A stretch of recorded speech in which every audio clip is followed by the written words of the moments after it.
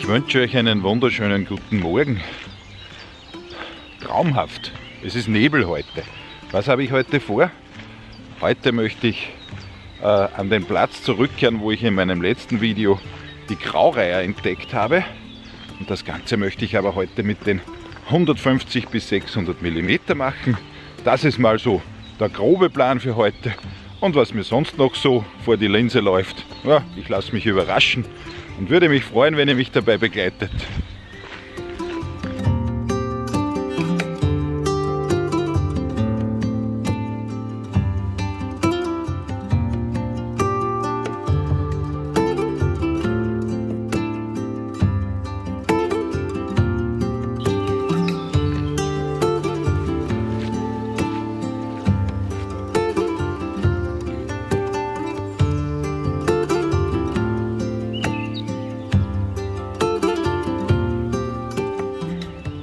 Ihr erkennen könnt, hängt hier in der Au heute so der Morgennebel herein. Es ist irrsinnig feucht.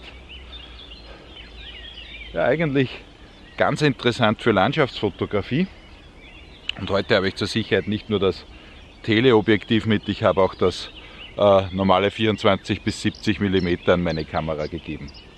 Auf jeden Fall wundervolle Stimmung ob ich dadurch jetzt, wenn der Nebel so dick zwischen den Bäumen hängt, die Vögel gleich finde und ob der Autofokus dann richtig gut sitzt, das wird sich zeigen.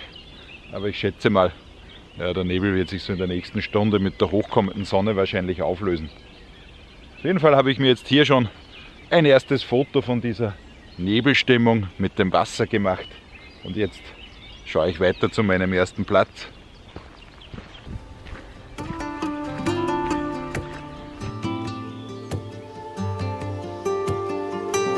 Meinem Weg zur Stelle, wo die Graureiher nisten, bin ich jetzt hier vorbeigekommen. Was ihr hier sehen könnt, sind diese noch relativ jungen Bäume.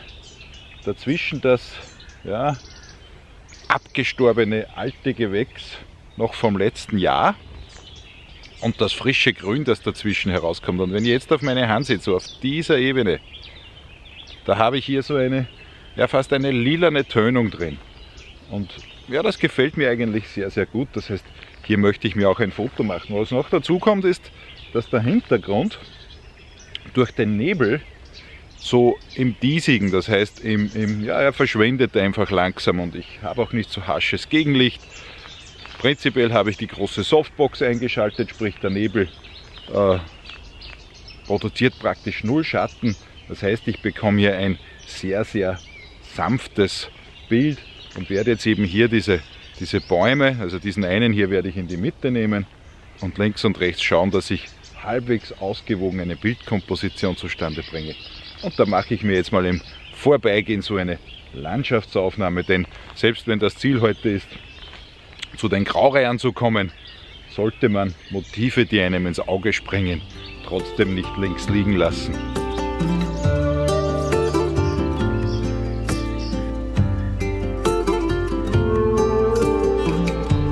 Zu den Donaulandschaften gehört für mich eben auch dieser typische Nebel und ist heute eher Zufall, dass das Wetter so ist, hatte ich gar nicht am Plan, aber ich will das natürlich nutzen, denn ich sage es ganz offen, die letzten Wochen und Monate waren so richtige Nebeltage wie hier, wie, ihr hier, wie ihr hier jetzt den Nebel über die Donau ziehen sehen könnt. Relativ selten, aber eigentlich sind die bei uns schon auch typisch. Und ja, es hat die letzten Tage Gestern war überhaupt so ein Unwettertag und ich glaube, das Wetter wird wieder ein bisschen schöner heute, aber jetzt steigt eben dieser, dieser kalte Dunst hier auf vom, ja, von der Erde, die ja eigentlich so Ende Mai schon ein bisschen aufgewärmt ist. Die Luft ist dennoch kalt. Auf jeden Fall, seht euch das an, die Donau verschwendet hier in der trüben Nebelsuppe und davor dieser Kiesstrand mit den hereinhängenden Bäumen. Da mache ich mir jetzt auf jeden Fall ein Foto, möchte mir hier aber jetzt auch gemeinsam kurz den Bildaufbau mit euch ansehen. So eine Möglichkeit, die ich hier eben jetzt fotografieren möchte, ist diese, die ihr sehen könnt. Ich bin jetzt hier ganz auf 70 mm reingezoomt. Dadurch bekomme ich etwas eine Kompression ins Bild. Das heißt, in der Tiefe schieben sich die verschiedenen Objekte ein bisschen zusammen. Und wenn ihr jetzt schauen könnt, rechts unten aus dem Bild läuft eben jetzt hier der Strand heraus, also die, die Wasserkante, die Uferkante und zieht sich dann hin zu den über das Wasser hängenden Bäumen. Ein bisschen zum Ausgleich habe ich dann noch dazu genommen diesen Stein, den ihr im Wasser sehen könnt, damit eben, ja, wenn der jetzt nicht da wäre, könnte es schon sein, dass links oben das Ganze ein bisschen zu übergewichtig wird, das, also die Bäume, die hier hereinwachsen. Aber wenn ihr jetzt den, die Wasserkante nach hinten verfolgt, dann könnt ihr unter den Bäumen da hinten so eine kleine Gruppe Steine sehen und hinter den Steinen geht eben der Strand dann nochmal weiter, bis sich dann die Uferkante der Donau, dieses Kiesstrandes, im Nebel verliert. Ja, da mache ich mir jetzt mal so ein Bild mit 70 mm und ja, ich schätze, ich werde auch eins mit mehr Weitwinkel probieren. Blend euch die Bilder auf jeden Fall jetzt dann wieder ein.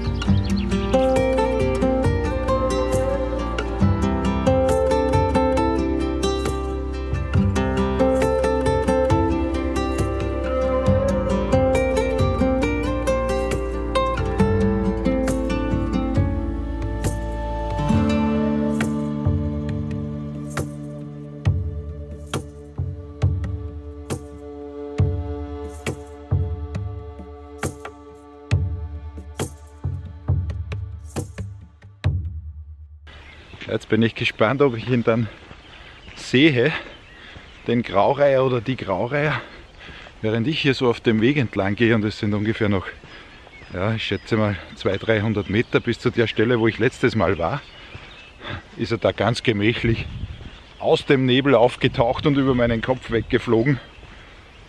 Ich hatte die Kamera natürlich gerade nicht in der Hand. Aber die Richtung des Graureihers war jene, in die ich auch gehe.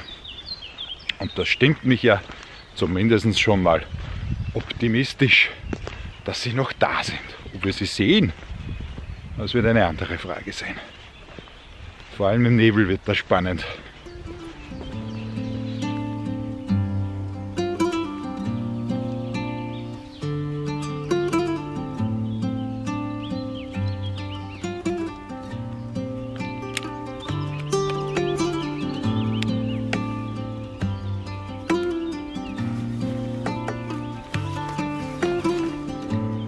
Könnt, habe ich jetzt hier schon umgerüstet auf das 150 bis 600 mm Sigma und heute betreibe ich es auf der Nikon Z6 mit dem FTZ Adapter. Die Frage kam im letzten Video, wo ich eben auch mit dem Sigma unterwegs war, aber mit der D750, ob ich es denn auch an der Z6 probiert hätte. Habe ich damals nicht, möchte ich heute machen. Äh, Ob es funktioniert und fokussiert, habe ich schon zu Hause probiert, das hat geklappt.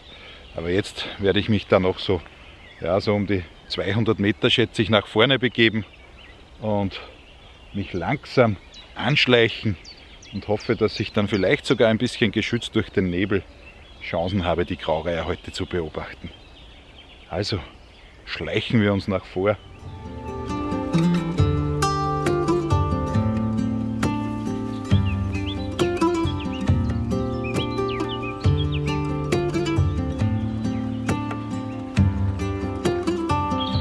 Hier hinten gerade den Jägerstand entdeckt habe.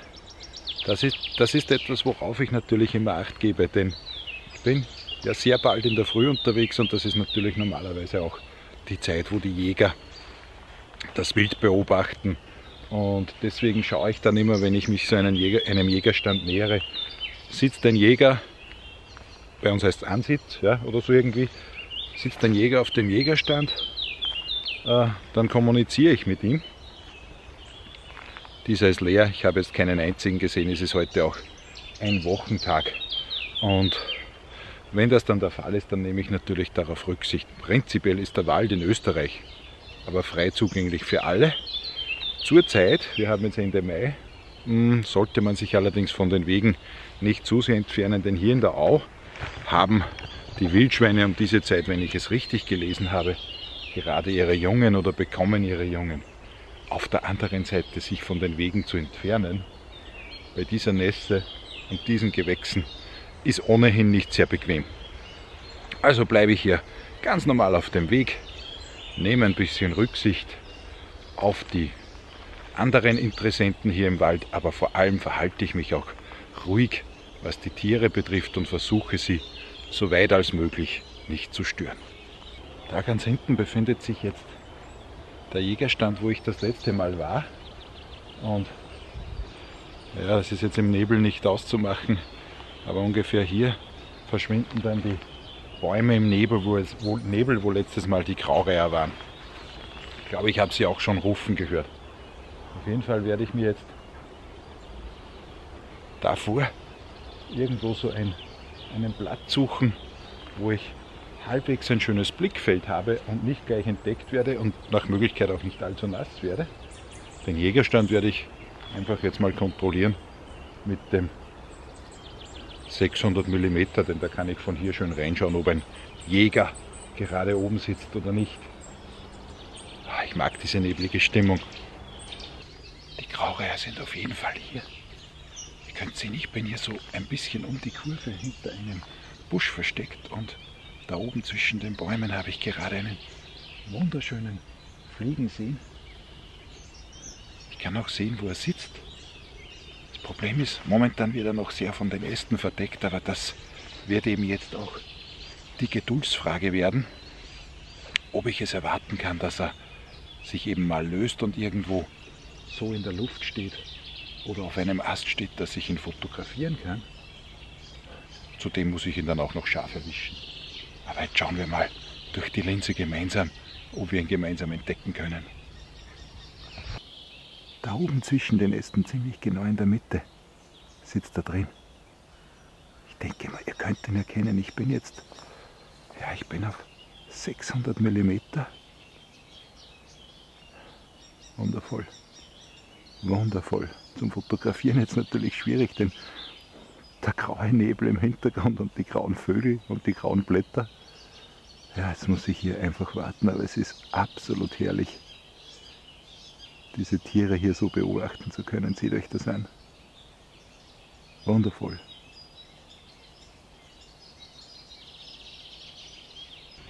Wie ihr sehen könnt, habe ich jetzt die Kamera vom Stativ genommen.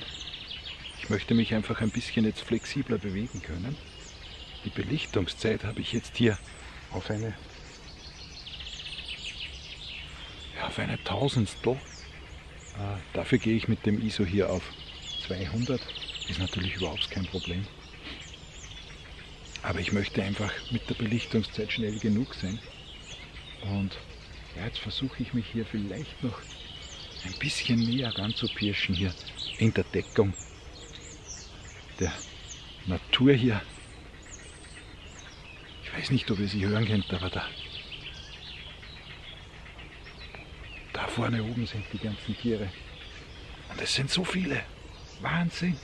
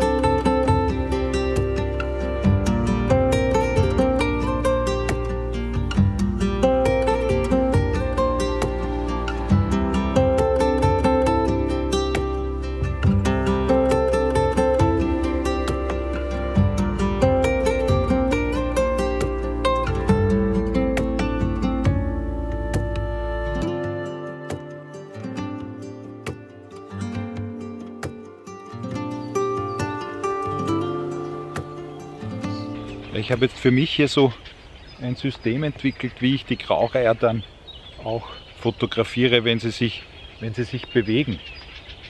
Äh, denn es ist irrsinnig schwierig mit 600 mm den Graureiher in der Luft zu finden. Das ist also für mich als ungeübten Wildlife-Fotografen nahezu unmöglich, wenn er so nahe herbei ist. Immer wieder fliegen sie da hinten herum. Ich bin immer abgelenkt. Traumhafte Tiere. Auf jeden Fall, so wie jetzt hier ein Graureiher gerade von, von links nach rechts rüber oder von rechts nach links rüber geflogen ist, suche ich mir eben dann den Platz, wo er landet. Ja? Also ich suche mir dann den Platz, wo er landet und dort nehme ich ihn dann in den Fokus. Wahnsinn steht der jetzt schön da hinten oben.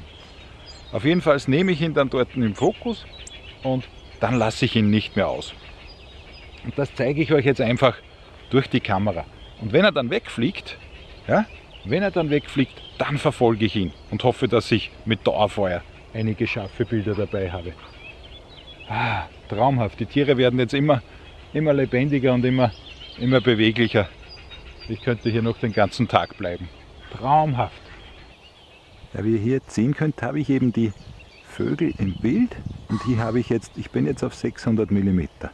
Das heißt, ich kann sie jetzt in aller Ruhe beobachten, kann meine Bilder machen und wenn ich jetzt dann auf den Fotomodus umschalte und sie fliegen weg und rein von der Richtung her würde ich mal sagen, sie fliegen nach links weg, dann positioniere ich meine Kamera schon etwas weiter links, dass ich sie noch im Bild habe. Ist eine 50-50 Chance, aber in diesem Fall, indem sie in diese Richtung blicken, gehe ich davon aus, dass sie dorthin fliegen, kann mich aber auch irren. Ja, und dann versuche ich einfach noch Dauerfeuer zu geben und die Vögel irgendwie im Fokus zu behalten. Auf jeden Fall, so denke ich, kann es funktionieren, dass man mit 600 mm die Tiere dann auch im Flug erwischt. Seht euch das an. Ist das nicht absolut traumhaft?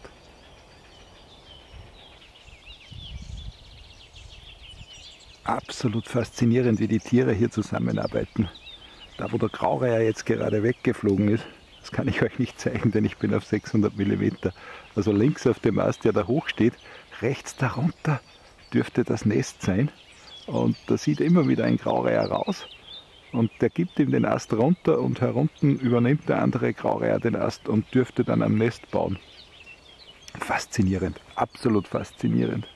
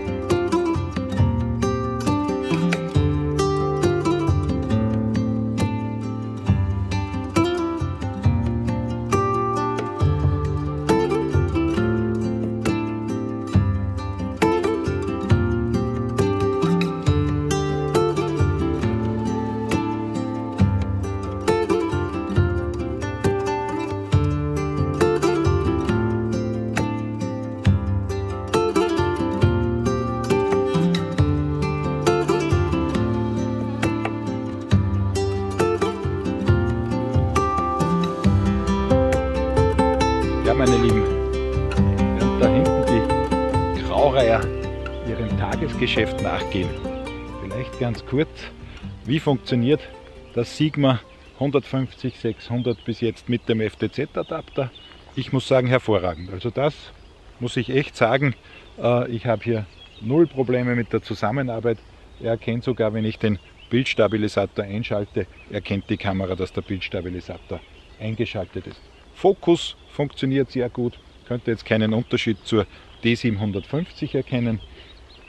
Also das Zusammenspiel zwischen Sigma 150 bis 600, dem FTZ-Adapter, äh, das Contemporary, glaube ich, das ist das nicht das Sport, zumindest ist ein C drauf, äh, mit dem FTZ-Adapter und mit der Nikon Z6 funktioniert tadellos. Was ich jetzt aber schon gemerkt habe, die Z6 ist natürlich ein Akkufresser im Vergleich zur D750. Ganz klar, wenn ich selbst durch den Sucher hier, durch meinen Einaugensucher durchblicke, läuft der Strom. Und ich habe jetzt schon einen ganzen Akku hier verschossen. Und ja, der zweite Akku, der war schon etwas angefangen. Der wird auch nicht mehr allzu lange halten. Ach, traumhaft. Ich bin immer wieder abgelenkt, weil die Tiere hier so wunderschön vor mir hin und her segeln. Auf jeden Fall akkumäßig äh, ja, ein klarer Punkt für die D750. Aber das Zusammenspiel und die Bildqualität ist hier auf jeden Fall absolut top und die Bildqualität der Z6 absoluter Hammer. Ja, ich werde jetzt noch den restlichen Strom meiner Kamera nutzen, hier die Tiere ein bisschen beobachten und ein bisschen Bilder machen. Auf jeden Fall blende ich euch jetzt zum Schluss noch eine Auswahl an Bildern ein. Das kann sein, dass es 10 sind, kann sein, dass es nur 3 sind, je nachdem wie viel Schafe das ich bekommen habe. Mich hat es sehr gefreut, dass ihr wieder zugesehen habt. Wenn euch das Video gefallen hat, würde ich mich über einen Daumen nach oben sehr freuen. Abonniert meinen Kanal, falls ihr das noch nicht getan habt. Das würde mich sehr ehren. Drückt auch auf die Glocke, dann bekommt ihr immer eine Nachricht, wenn ich ein neues Video hochlade. Und wir, wir sehen uns im nächsten Video. Bis dahin, alles Liebe, bleibt gesund, ciao.